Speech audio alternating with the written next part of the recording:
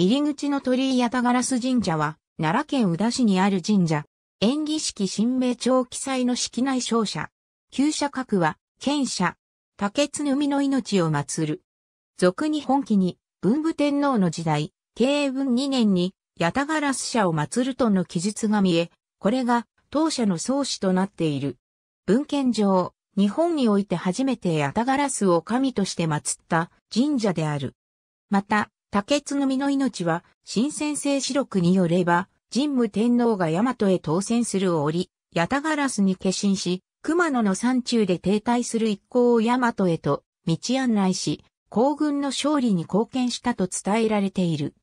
このようなご由緒から、古来、軍神として崇敬され、南北朝時代には、後醍醐天皇の熱い信仰により社は大いに栄えたと伝えられている。しかし、南朝の衰退と度重なる戦火に見舞われて以後、江戸時代中期まで廃絶寸前の状態となり、いつしか、ヤタガラスがなまって、オトゴロスという俗称が伝えられたと言われる。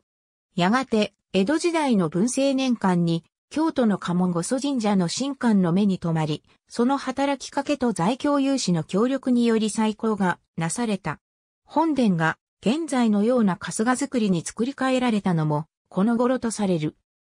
それ以降、霊大祭の折には、下鴨社から法兵士が送られ、祭典が取り行われていたが、法兵士を伴う大祭は、当時わずか9個ばかりであった当地の氏子には、負担があまりにも大きかったことや当社が、下鴨社の境外抹社の扱いとなることを懸念した奈良県令の指導も相まって下鴨社の参考は明治時代の初めに中止されることとなった。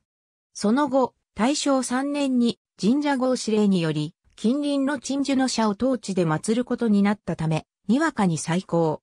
昭和の時代になると、紀元2600年記念行事の関係で、県社に昇進するとともに、新域の拡張と整備が行われた。以降、現在へと至る。ありがとうございます。